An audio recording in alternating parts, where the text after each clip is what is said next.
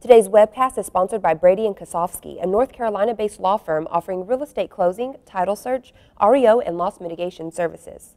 The Department of Treasury clarifies HAMP participation numbers released by a federal watchdog, and a Senate subcommittee discusses bankruptcy reform and ending too big to fail ahead on Thursday's News Wrap.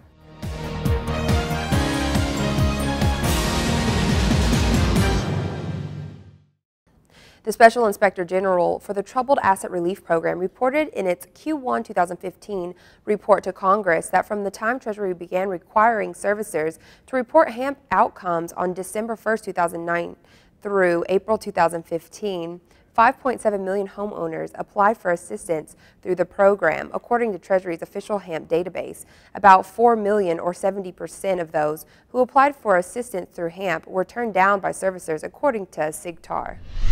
Treasury responded to SIGTARP's report by pointing out that HAMP has directly helped more than 1.5 million homeowners permanently modify their mortgages and indirectly assist millions more by setting new standards for mortgage industry that have led to more affordable and sustainable private modifications. Treasury also said that it had made more consistent improvements to HAMP, which have resulted in a steadily declining number of denied applications in the last three years.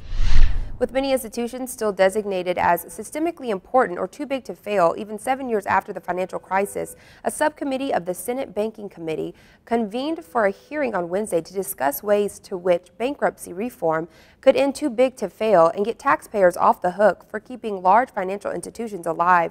One strategy suggested was a single point of entry strategy in which a bridge financial company is created and all the assets of the bank holding company would be transformed to the bridge FHC. You can check out these stories on the latest happenings in the industry right here on our site.